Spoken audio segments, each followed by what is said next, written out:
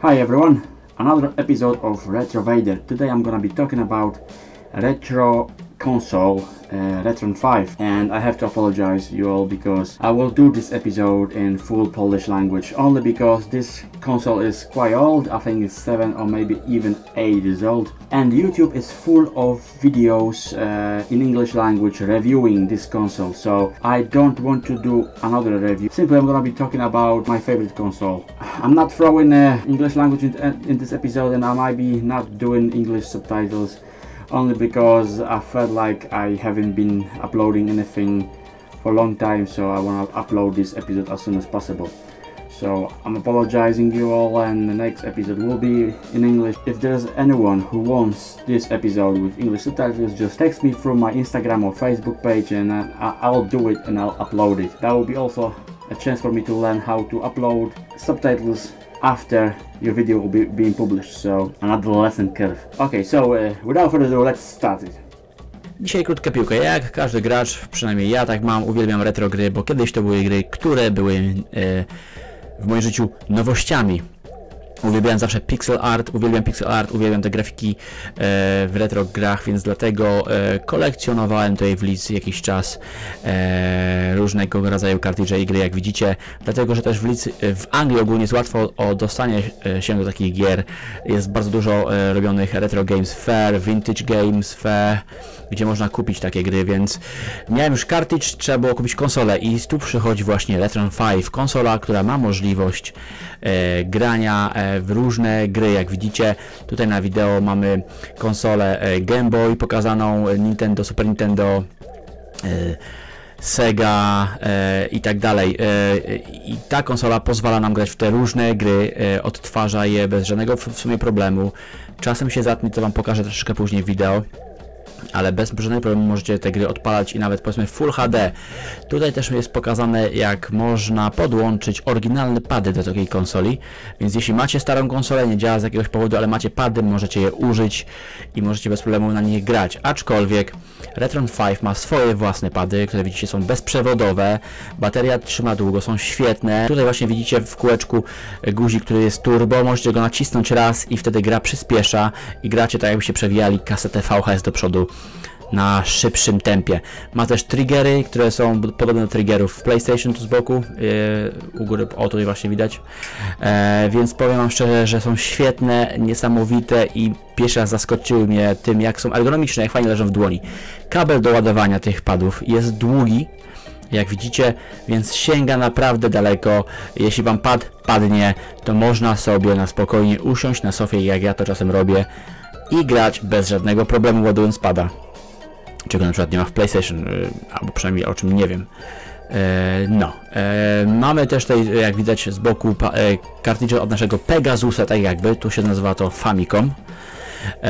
Też chodzą bez problemu, widzicie, wkładam kartridż, konsola czyta go i odnajduje jaka to jest gra. E, tutaj właśnie mamy Street Fightera.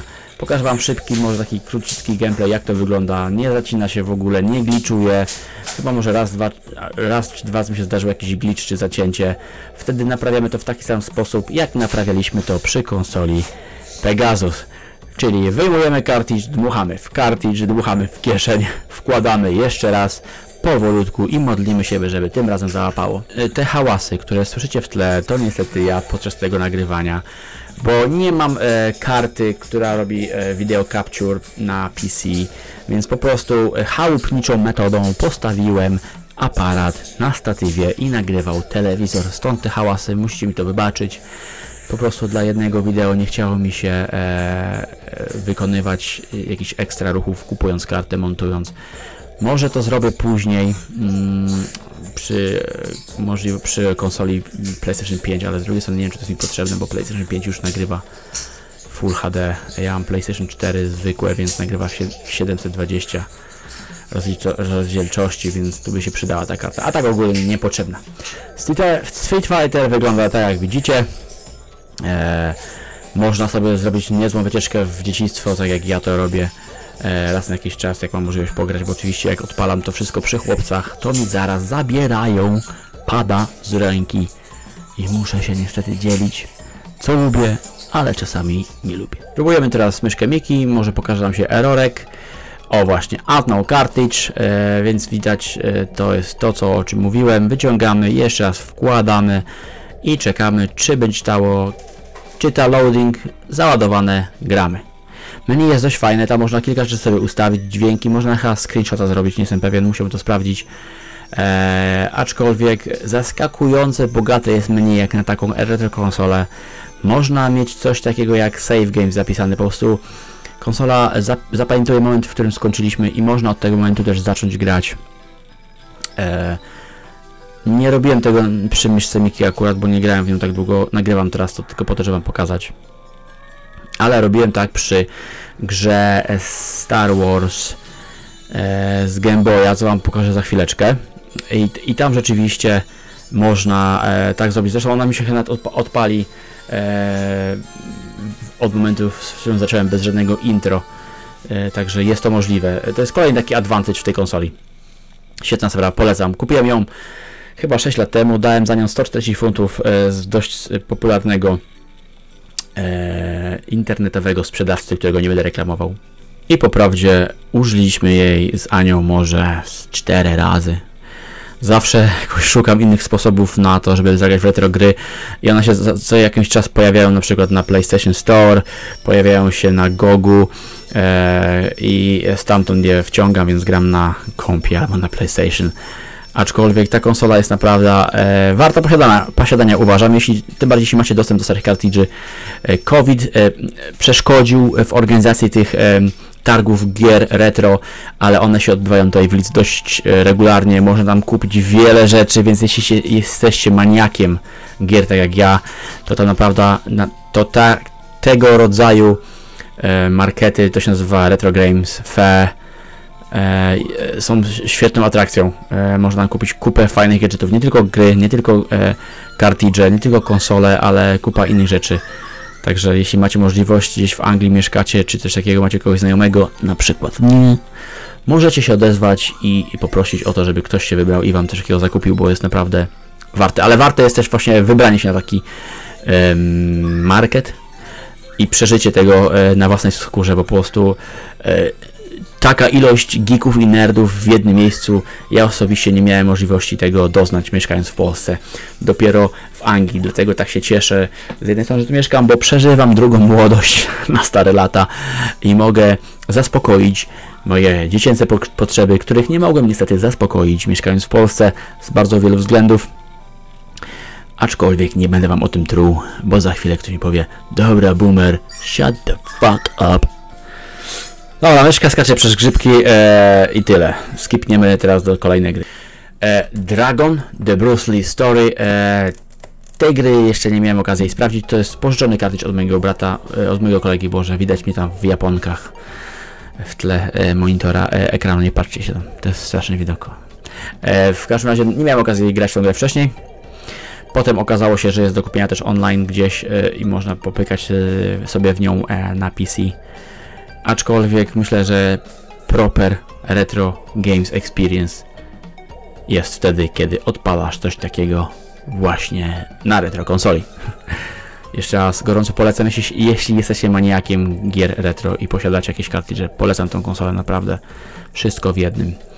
Ale przed zakupem sprawdźcie jaki model jest do, do dostania gdzieś w okolicy i, i jakie gry odtwarza, bo jest kilka modeli z tego co wiem. Jest chyba retro nowszy, nie sprawdzałem, ten mi wystarczy. E, I tyle. No, tutaj e, niestety wujek Vader dostał e, typowy słowiański wpierdul, więc może to za chwileczkę wytnę i przeskoczymy do kolejnego wideo, żeby się nie zawstydzać. Aczkolwiek nie poradziłem sobie. Nagrywałem tą grę po to, żeby wam pokazać. Nie znałem oczywiście ciosów jak, jak zawsze, nigdy się nie uczę, nigdy nie trenuję. Gram dla przyjemności, więc tutaj pan marynarz spuścił mi porządny wpierdol.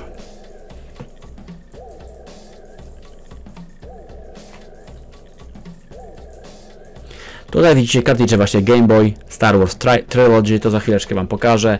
Zaczyna się po prostu od miejsca, w którym skończyłem Spider-Man. E, Tu się wkłada z przodu i o proszę bardzo. Zaczęliśmy od momentu, kiedy, w którym skończyłem kilka lat temu. Jak na gameboyową grę jest naprawdę fajna grafika i animacja, więc e, wygląda to płynnie. E, dźwięk jest też spoko. Więc naprawdę polecam, jeśli macie możliwość. Po raz kolejny tu mówię, bo nie wiem co mam mówić. Fajnie też mówić bez maski. E, to jest taki kolejny plus. I po polsku. Mimo, że angielski nie, spra- nie sprawia mi trudności, to jednak lepszy freestyle mam po polsku. Polska mowa być prosta, aczkolwiek nie zawsze trochę się zacinam czasem, bo jednak ponglish jest dość strong i mi wchodzi. O, tu mamy Spidermana. Jak widzicie, to jest też gameboyowska gra. E, Grafika jest spoko, naprawdę chciałbym mieć więcej czasu, aby w to wszystko sobie grać na spokojnie i testować. Niestety e, posiadanie dwóch padałanów ogranicza mocno ruchy e, rodzica, jeśli jest się jakimś fanem czegokolwiek i ma się jakiekolwiek hobby. Więc zanim, drogie dzieci, zaczniecie sobie robić dzieci, to się grubo zastanówcie, jak to mówiła kosmiczna ryba, Kapten Akbar, it's a trap! Także em, planujcie swoje ruchy rozważnie. Nie to, żebym ja nie zaplanował rozważnie, bo jestem już dość stary, więc wypadało już mieć dzieci. Aczkolwiek cierpię straszne katusze. Grać i nagrywać i edytować, jak to będę robił za chwilę. Muszę po nocach. Niestety. Tak, w ogóle, tak to wygląda, ale coś za coś. Mówi się, że e, posiadanie dzieci jest rewarding. Czekam na tą rewards od lat. Prawdopodobnie w momencie, kiedy Tymek będzie już dorosły i zarabiał kokosy grając w NBA lub grając pewne role w Hollywoodzie i mi kupi Mustanga Shelby z 1968 roku, wtedy to będzie to rewarding parenthood, o czym wszyscy naokoło mówią. Na razie tylko e, tonę w pieluchach, śpię po 5 godzin i gram po nocach. nie no, marudzę po prostu, żeby sobie pomarudzić, ale nie jest źle. Nie no, żartuję, jest źle, jest źle. Nie róbcie sobie dzieci. Naprawdę, nie. Uciekajcie, uciekajcie gdzieś na wycieczki, po świecie, ale nie róbcie sobie dzieci. Chyba, że jesteście starzy i znudzeni, wtedy możecie. Ale jak chcecie się rozerwać, to prawdopodobnie z tego co słyszałem, dobre na, na porządne rozerwanie się jest granat F1. Polecam.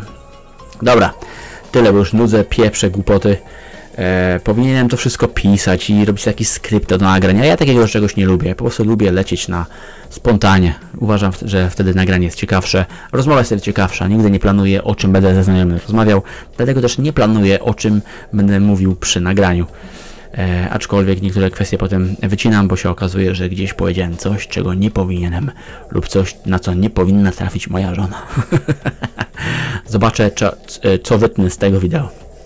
Dobra, kończymy. Tak to wygląda. Retron 5 polecam, e, jeśli macie możliwość kupić do swoich retro kartridży. E, przypomina czasem, mówię, e, naszego starego Pegasusa w momencie, kiedy się zacina. Od starego Pegasusa gry też działają na tym, więc jeśli macie skitrana, jeśli przeżyły jeszcze te wszystkie lata przeprowadzki lub cokolwiek innego, lub to jak wam mamusia sprzątała pokój, e, gdy byliście w wojsku, tak jak ja, to naprawdę się ucieszycie, bo odpali bez problemu. Jak, od, jak nie odpali, to pamiętajcie, dmuchamy w kartridż, dmuchamy w, kons, w kieszeń konsoli, wkładamy kartridż drugi, trzeci raz, piąty, ósmy, dziesiąty i modlimy się do wszystkich bóstw na niebie, żeby odpaliło. Ale odpali, naprawdę polecam. Pozdrawiam serdecznie, Zap nie zapomnijcie zasubskrybować mój kanał, nacisnąć notification button, by dać mi boosta mojego bardzo starganego ego, po to, żeby mi się chciało nagrywać kolejne wideo, chociaż nikt tego kurwa nie ogląda. Pozdrawiam, nara!